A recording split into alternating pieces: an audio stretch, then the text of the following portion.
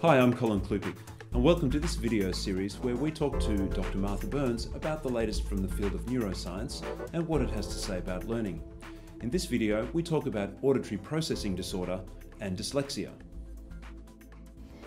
Well, two very new studies just came out. One was published by a gentleman whose name is Bart Boets, B O E T S, um, and his colleagues, looking at identifying auditory processing disorders in children who are entering kindy, um, the first early school years, and then following them and seeing what kinds of learning issues result over time. So it was a longitudinal study, very interesting one. And he found that when children have auditory processing disorders in kindergarten, by the time they're in the third grade, they're very likely to be diagnosed as dyslexic. So I'd say the new research is pointing um, to the fact that auditory processing disorders are a, a significant contributor to some of the learning problems that we see in a lot of children in school. And another group of researchers, Teri Bellis, just published an article in uh, the Journal of the American Speech and Hearing Association um, just again this year, both of these within the last couple of months, looking at the relationship between auditory processing disorders and reading disorders as well, and found that uh, very similar that children, if you do it the other way, if you look at children who are um, having reading problems and you test their auditory processing, you can see um, several different dimensions of auditory processing that seem to be um, problematic in those children. So, have two lines of research that are culminating um, that are supporting research that had been going on probably for 10 or 15 years um, on the link between learning problems and auditory processing disorders. Yes, because what that means is that auditory processing disorders are treatable. So there are several interventions that you can use. A classic intervention for auditory processing disorders is called auditory training, where you actually sit with a child and ask them to do speech discrimination tasks. But we also have uh, commercial products out there like the Fast ForWord programs that are designed specifically to train auditory processing disorders. And so what that means is that we can probably tackle a lot of learning difficulties by identifying auditory processing disorders in children as young as we can, six or seven years of age is right now about the youngest age, but then treating them right away so that you so a child never gets to school and has to start struggling with the academic process. I think that we could probably talk about dyslexias. There are probably different kinds of dyslexia.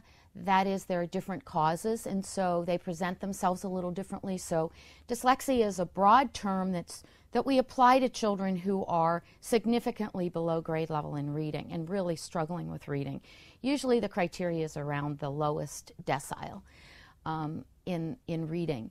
But there are some children. There's a wonderful book that's been written, "Reading in the Brain," um, by Stanislas Dehaene who's a neuroscientist who's been studying reading. And he talks about the fact that a child can have trouble learning to read because they have trouble dealing with the letters, they have trouble um, perceiving the letters and perceiving the orientation of letters.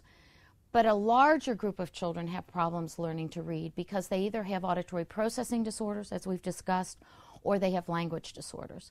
So that converting the written symbol into a word isn't as difficult for them sometimes as figuring out what that word means or what the grammatical forms of the sentence mean when they read it. So, reading is complicated. It uses almost the entire left hemisphere of the brain, and there are different problems that can lead to reading disorders. Well, I like to say um, that dyslexia isn't a disease. So, we talk about cures for diseases. Dyslexia is a learning difference. It's, it's, it involves children who are um, not as good with auditory processing, let's say, or who are having some problems with language and, and learning the language system. And so, because they're having problems with learning, I don't think of it as a disease. And I don't, if you don't have a disease, you're not looking for a cure.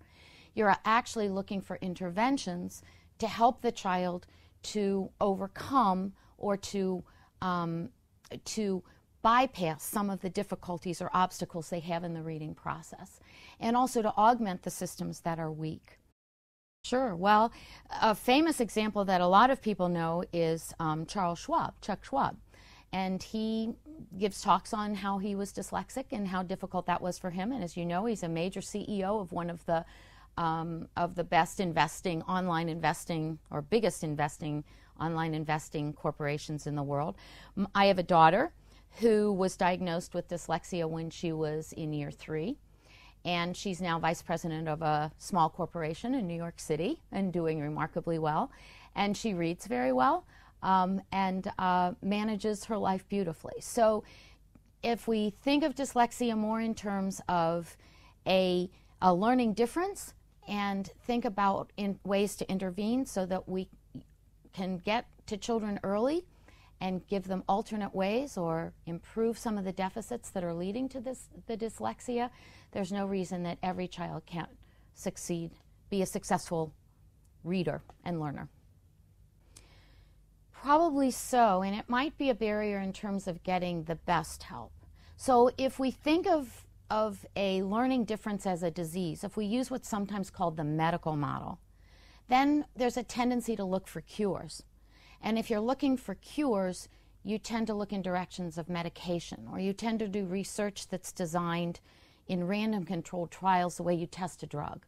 So we'll take 10 people with this disorder and we'll give them this treatment, and we'll take 10 people with this disorder and we'll give them something else. And, and in reality, working with an individual who has a learning difference involves a lot of variables. The variable of the relationship between the teacher or the clinician or the therapist and the, and the individual, choosing the right interventions at the right time, and then tailoring in the, the interventions to the individual needs of the child. And when that's done well, um, children are very successful. And the other problem I would say with the disease analogy is is then we tend to look at someone as having having a problem that that is a little scary, or or they may f- have a self-image of themselves as having something wrong with them. And when you think, on the other hand, that really what dyslexia is, or many learning disabilities, are learning differences, where the brain is good at some things, but it just doesn't happen to be good at reading, then the person starts to realize that they have a lot of strengths and that really it's just a matter of tackling a few difficult areas for them and they can overcome that and then they can uh, do as well in school as anyone else.